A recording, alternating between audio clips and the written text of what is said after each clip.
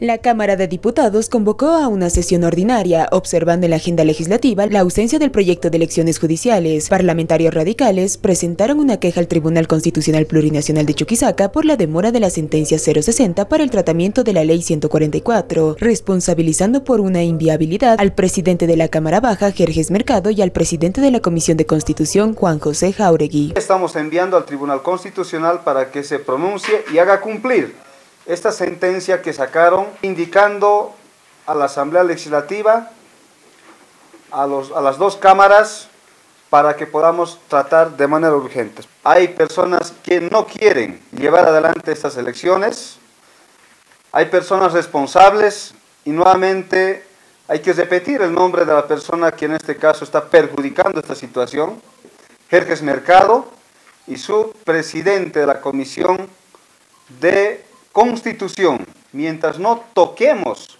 o aperturemos la ley excepcional para las elecciones judiciales, no podemos adelantarnos. Tenemos que hablar en función a los tiempos y las propuestas también que nosotros ya los tenemos, porque por ahí ya nos hablan de vacíos de poder y demás situaciones. En eso estamos trabajando también.